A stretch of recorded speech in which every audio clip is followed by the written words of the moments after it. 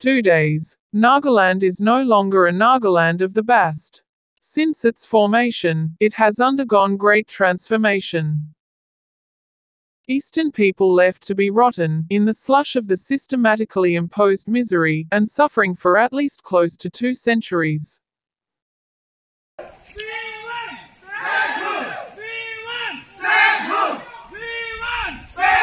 Eastern Naga people have never had any political savior in the political history of Nagaland.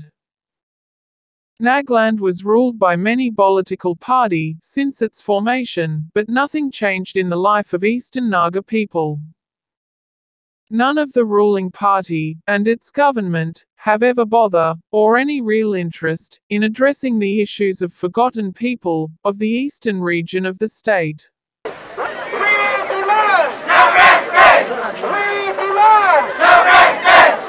Roads, bridges, smart city, hospitals, shopping complexes, trade centers, restaurants, university, quality communication network, systematic transportation system etc. have been built in West, but East remained as thirsty and deprived as ever. Financial assistance that comes from the center to address the infrastructural issues and economic disparity in the eastern region never reached to them. MLAs representing the region of eastern Nagaland have perpetually been thrown at the mercy of their 40 strong counterparts from western region due to tactfully played number game. 20 is to 40, legislative assembly seat formula that is blatantly biased in favor of the western Nagas reservation policy that was introduced in 1977 for backward tribes in the eastern region failed to address the core of the principles of social justice. Major towns like Tuensang, which once was a center of the Boer, have been systematically thrown in the corner, without giving any due policy attention. Despite suffering from the long list of systematically politically imposed, odds, discriminatory practices, and discriminatory policy initiatives.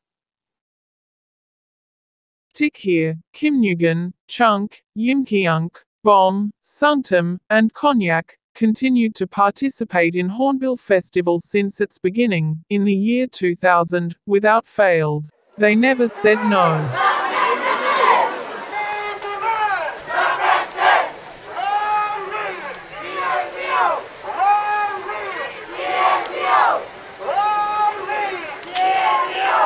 But the direction of wind in Nagaland has now been changed. Eastern Naga people have become educated. They started reading Constitution of India. They started learning about their rights as people. They started discovering that nobody bothers about them, nobody is interested in them. They started discovering as to how unjust and brutally their kids, who are being used as domestic servants in the houses of rich people in the western region, are being treated. They started discovering their insufficient representation in the legislative assembly, as well as government service sector. They started realizing as to how their rights, as the free citizens of free India, has been systematically violated by the state machinery.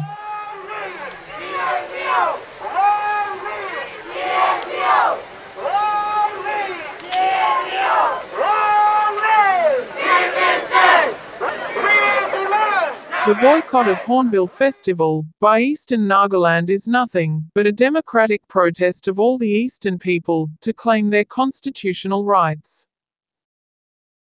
The Constitution of India gives right to the people and their organizations to initiate peaceful protest through democratic means to achieve political victory. In India, right to make a choice do exist. Therefore, any individuals or organizations have a valid right to choose to say no or say yes. Boycotting the Hornbill Festival by Eastern Nagaland has created a history, both in national and international news. What can be more important than restoration of human values, claiming the lost rights, and resurrecting the dead human hopes to live in better human world? Hornbill Festival instantly loses its meaning for the Eastern Naga people in the context of the resurrection of the frontier Nagaland.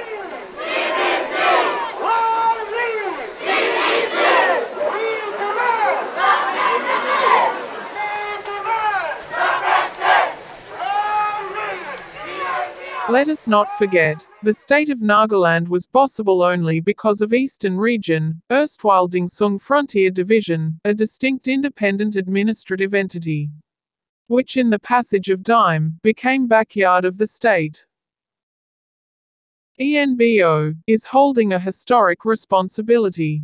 The heavy burden of history is on their shoulders. The outcome of their stand and actions will be permanently recorded in the history. The men fighting for the cause of broken, forgotten world will forever be evaluated by the dime and the history.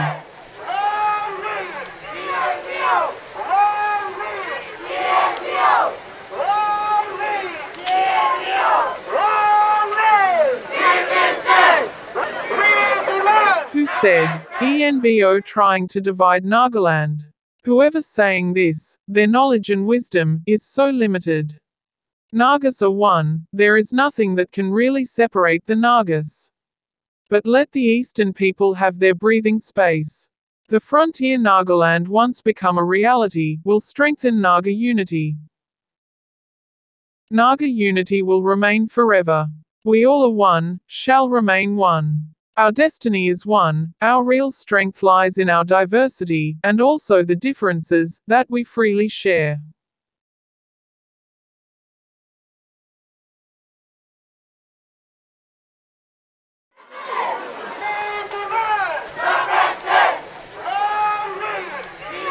Frontier Nagaland movement is not just a movement of Eastern Nagas, but it is a movement of all those who believe in justice, equality, liberty, and fraternity. Hence, let us not judge their demand, but let us all join hand and bring change. Let's stop the evils and stand for human values. Let's all pray for them instead of cursing their demand. This will strengthen the Naga unity. Eastern people are eagerly waiting, with much hope to once again rise the shining stars, and rise morning sun, in the land of frontier Nagaland.